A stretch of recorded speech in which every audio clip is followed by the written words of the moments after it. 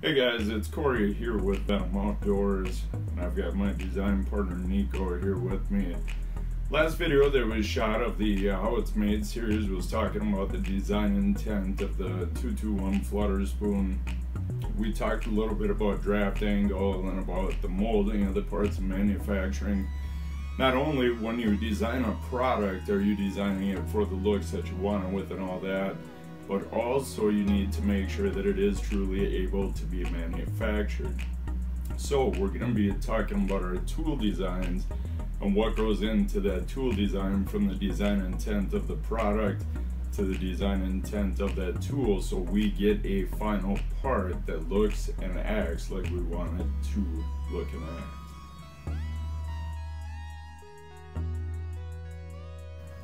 Alright, so when we're getting into that design of the tool, we have to think about the machine that's actually going to run that part. We can't choose a giant machine for a very small part. So for, for our spoon parts, let's say, we have a very small press with a very small screw and barrel.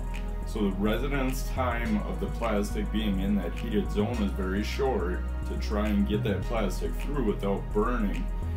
We also have daylight, daylight of the press opening. So will my tool fit? When it is open, will it be able to eject the parts without colliding with the non-moving side, we'll call it, which is the A side. So there's a lot of different things that are that are in that that you have to be aware of before you start that tool design and keep that in mind. So when we start out the design guys, what we have is we have the four cavity tool here. So we want to find our orientation of the tool so we have enough steel in between each cavity so that the tool is safe and it's going to have longevity without blowing out the walls. Also you notice here these different colors of pins that are coming out. Those are the ejector pins that when the tool opens, I'll show you that here so the tool will come together, mold the part, then when it opens back up, these parts have to come across with that moving B side, then get ejected off. If they get stuck in this A side, that can cause a collision and could be catastrophic to these more intricate tools like this. So we want to be sure that the parts come across like that. I'll show you a little bit of a side image of that ejection system so you see the different uh, holes that the ejectors are going through and then a very tight reamed hole at the at the end here or EDM wire burned so we don't get plastic flowing into that that hole essentially between that hole and that pin. Now being that we do have two different sides of the ASIM blades these cavity and core plates on the A side and the B side change out so we can change the size of the blade but it's basically the same exact tool doing the work. So we're trying to build the tools efficient so they do a lot of work for us.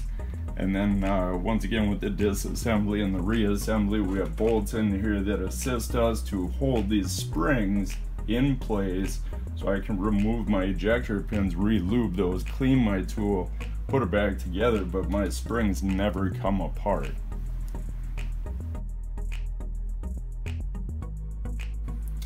Alright, so when the tool closes, basically what we have going on is the press is closing this tool and now these leader pins are going to engage these bushings and hold that much more accurate so the cavities line up much better. There are other ways that you can even enhance that farther if there is a need. Uh, once again, too guys, the, the tool needs to be remaining at a constant temp while it's molding parts. So with that being said, if you notice, we have these water lines that come in and essentially surround that working area, if you will. And we have the same thing over here. That keeps our environment very repeatable so the product is being made in a repeatable environment. The press is very well controlled. Now the temp of the tool is very well controlled. So once that tool starts spitting out and even hundreds of parts, it gets to a normalized state where it's it's basically where it needs to be now. Now if the tool is running reliably, you can pretty much trust once in a while you'll have a little fluke take place, but you can usually trust that the tool is going to do what it should be doing once it's normalized and the water temp is correct on your tool. All right, so talking about draft angle, this is a draft angle. This is a draft angle, so it's all the way around this favorite cup of mine. So the plastic is being injected on this back side from this side of the tool, the non-moving A side. So when that tool opens, it's going to pull this part across with it and then it's going to push that part off and the part falls essentially or gets grabbed by an operator or whatever it is. But that draft angle as soon as it starts coming off it separates apart from the actual steel that is molding or giving this part its shape. So draft angle in a lot of cases is a must. Once again though we did talk about the shrink of plastic. So if you have an internal feature where that plastic is shrinking away from the steel, that doesn't always need draft. So there are different features in different areas that need draft and some that do not. So you need to be on top of your game once again in that part design to make sure you have draft where you're gonna need it and get rid of the draft if you don't want it or if it's not desired. One thing I want to mention is sink. So if you notice, pretty much every plastic part that you see for the most part is going to be thin cross sections, thin walls and that kind of thing. We have these cored out areas around our cradle.